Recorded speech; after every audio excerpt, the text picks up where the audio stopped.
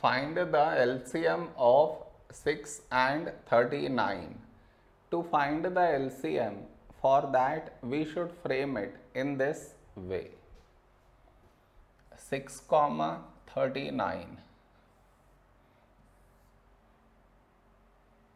This is your step 1. Now you should focus on to the first number which is 6 here. 6 is 236. The other number 39, last digit 9 not even, so this is not divisible by 2. So you write it down as it is. Now here we have 3, 3 is a prime number, so 3 ones 3.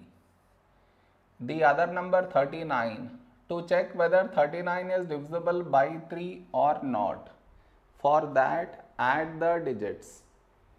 3 plus 9 we get 12 and 12 is divisible by 3. So this number also divisible by 3. First number 3 when do we get 3 in 3 table 3 ones 3. The other number 9 when do we get 9 in 3 table 3 3 is 9. Now we got 1 here. So focus on to the next number 13.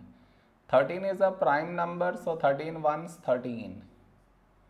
So we got 1 in both the places. So our LCM is LCM is the product of these numbers that is 2 into 3 into 13. When we multiply these numbers we get 78 is our LCM.